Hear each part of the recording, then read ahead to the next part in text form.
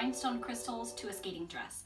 Now there's a lot of different methods out there, a lot of different glues, um, a lot of different pickup tools, but I'm just gonna show you what I have found works the best for me. I prefer E6000 as my glue. Um, there, It comes in black, white, or transparent, and you wanna make sure you get the transparent. It um, is stretchy, so it works great on four-way stretch materials. You can wash it. It pretty much lasts forever. The only downside to this is that there's some pretty strong fumes. So you want to make sure that there's good air ventilation wherever you're working with it. But the E6000 is definitely the best glue on the market for putting crystals onto something that's stretchy. All right, so we're gonna start with that. You also want to get a wax tip pickup tool.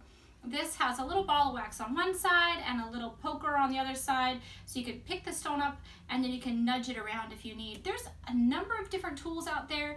This one is really simple and I just find it, uh, it does the job really well. And then I also use a syringe.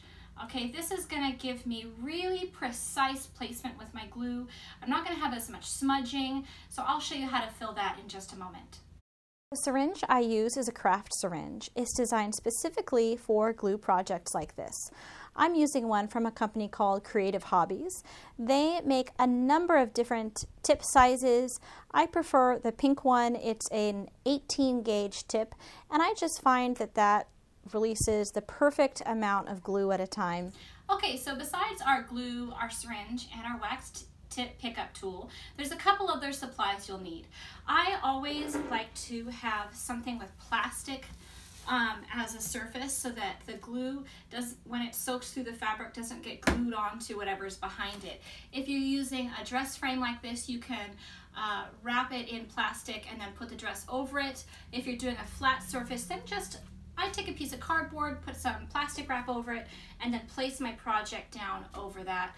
Um, if it's a dress, you want to put one side on each side of the cardboard so that the cardboard's in between the layers and you're not gluing the layers together. Um, so you want that. And then you, I have a piece of scratch paper just so that I can, um, any excess glue can drip onto that instead of my work surface. And then of course you have your flat back crystals. Um, Swarovski is definitely the top of the line crystal, but there's a number of other ones out there. I just keep them in a little dish, and you're gonna wanna work with them with the crystal side up and the flat side down. So you can kind of go through and turn them over, or you can do that as you go. But um, so you have all your supplies ready, and we're ready to get started. Okay, so next I'm gonna show you how to fill your syringe. We're gonna take our plunger and pull it out pretty easy. You're gonna open your E6000 and squeeze from the top. You're gonna put some glue in there. The nice thing is this glue um, does stay solvent for a little while, so if you have a project going on, you probably can use this glue about 24 hours.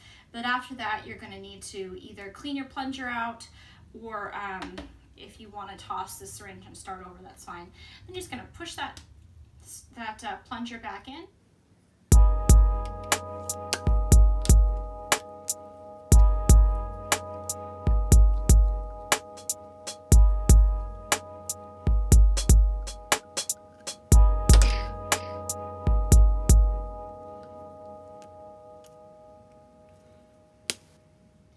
One of the things I really love about using a syringe is you can pull back on the pressure in between drops of glue and this helps you keep from having glue just keep spilling out. That's a problem when you just take it straight from the bottle. The glue just keeps oozing out and you waste a lot of glue that way. Okay, so we have our plunger full, we have our marks on our material. We're just gonna apply a little drop of glue. You don't need very much. And then I'll just kind of spin it across the fabric and that kind of cuts off this, the stream of glue. You can apply several um, dots and it stays wet long enough that you don't have to worry about it drying before you get your crystal on there. All right, so I'm just gonna do a few of these. Okay, then I'm gonna take my pickup tool. You just tap a crystal, set it down on the fabric, and it releases just like that. It's really easy. Go. As you can see, when you use this method, it's really fast. You're not um, having to bother with glue strings all over the place. And again, if you're not perfectly happy with where you want the stone, you can use this tip to move the stone into place. The glue stays wet just long enough for you to do that. Okay, then we go back to our syringe and we're going to apply a few more drops.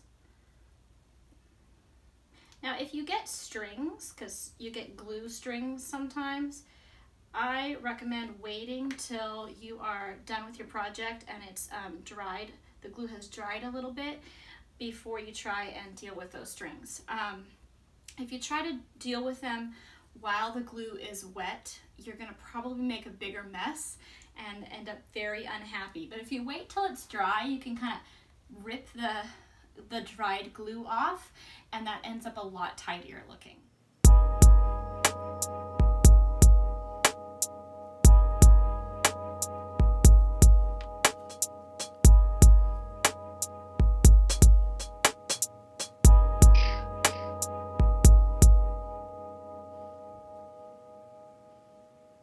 Okay, well there you have it.